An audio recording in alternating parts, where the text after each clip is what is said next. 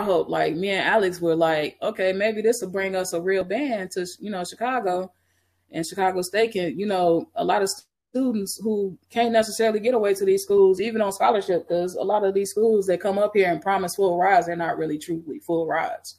Mm-hmm. Um, so these kids that can't really get there, you know, we figured Chicago State would be perfect.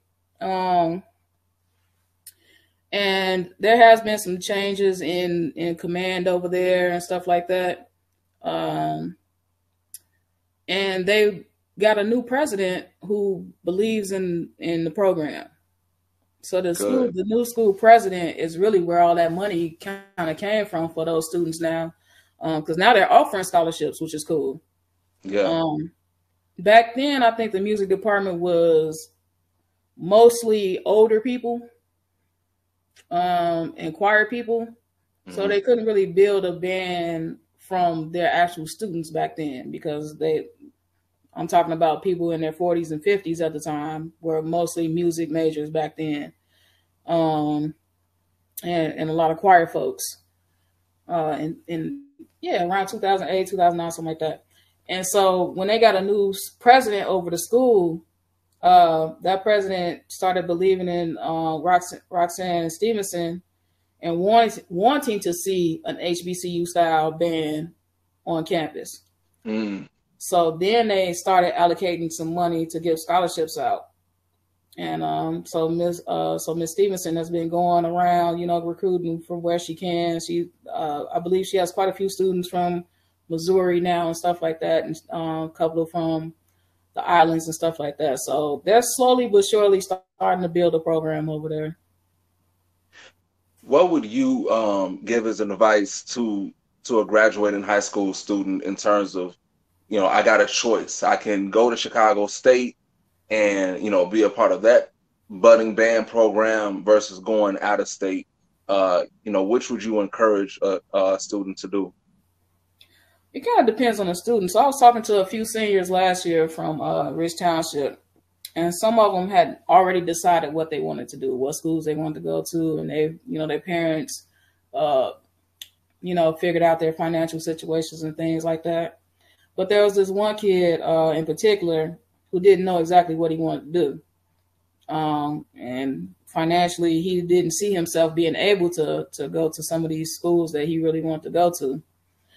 So my suggestion to him was Chicago State. And those who are uh, undecided, my my suggestion is always Chicago State to them because they do have dorms, so you still get the campus living and they still get the experience what it is to be a full college student nowadays on campus, you know, living the campus life and everything like that. And they get a little bit of that HBCU experience um, because Chicago State is, is te- technically not an HBCU. You can't historically be, you know, be a historical college when you were first known as a teacher's college. You yeah. founded on those principles of HBCU.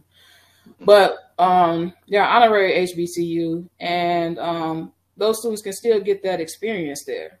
So for those students who might not be able to financially, you know, handle going away to school, I always push them towards Chicago State to still get that experience.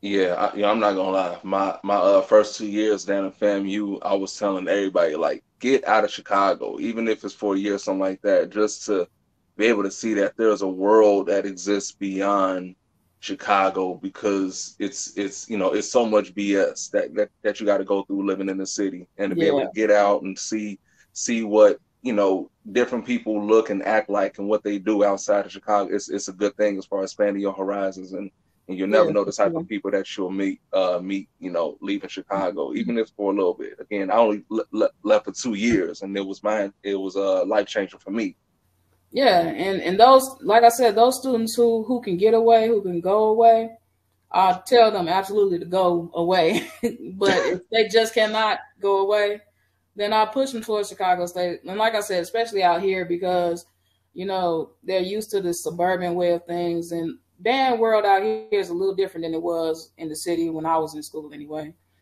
Mm-hmm. So, you know, when they go to Chicago State, they get a little taste of, they still getting a little taste of what a HBCU life kind of is like they have yard shows and all that kind of stuff, so they still get a little taste of it.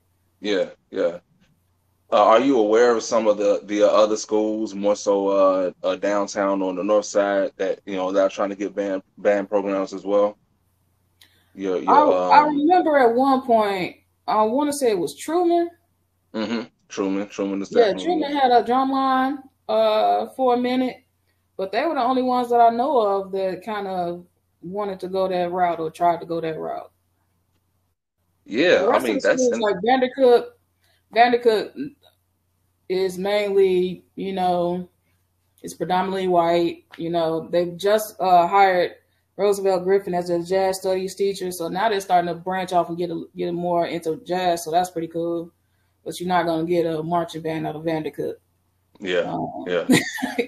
You're not really. You're not gonna get a marching band out of Columbia or Roosevelt or any of those schools. Um, they have pep bands, um, your typical PWI pep bands, but you're not gonna get a HBCU marching band out of those. Okay, okay, I got you.